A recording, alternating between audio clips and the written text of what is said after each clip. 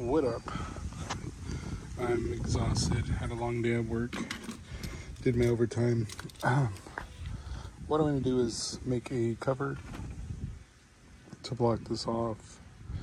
I'm using cardboard kind of measurements. We'll figure out how to what part I'm going to use. Not sure, but I kind of want to have it like the engine bay and the LS to where it covers everything.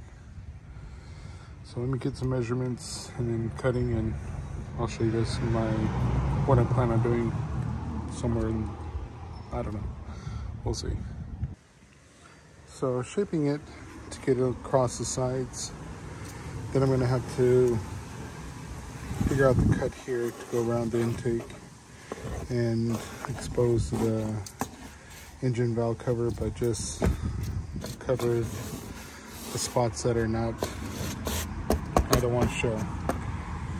So, and this will be first time fiberglassing, so I'm just using this as my template or my mold. So if I mess up on the fiberglass, I can shave it or with a Dremel and shorten everything out. So just a, just rough cut. But I'm gonna try to figure this measurements for the inside. All right, so just show the idea. Um, I don't have the fiberglass or anything to start it, but just what I want to expose when popping the hood. Uh, all this will be fixed with Naiad fiberglass and then I'll trim everything to give it probably a nice curved look to it. I'll shape this around, I guess. But yeah, I want to just cover the, the ugly stuff that's hiding in here. And that should work.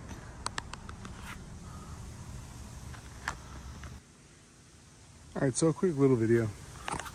I just got to trim out these parts here so this can become flush. Then work on something to go back a little bit more here and on. And then, but I think that's what I'm gonna have exposed. And I guess I'll have this set. I'll figure out something with this piece. But just an idea of something I'm gonna try doing. So, alright y'all, thanks for hanging out. Just a little quick video. I just wanna show you something I'm gonna do when learning how to fiberglass and carbon fiber. So, thanks guys.